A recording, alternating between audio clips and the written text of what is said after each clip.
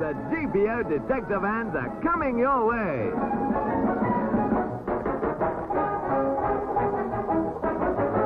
And if you can answer a simple question correctly, Um, do you have a television license? Oh, you can save yourself 50 pounds. um,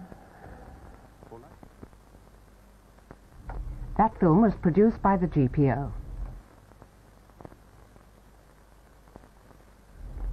In a moment, Blue Peter.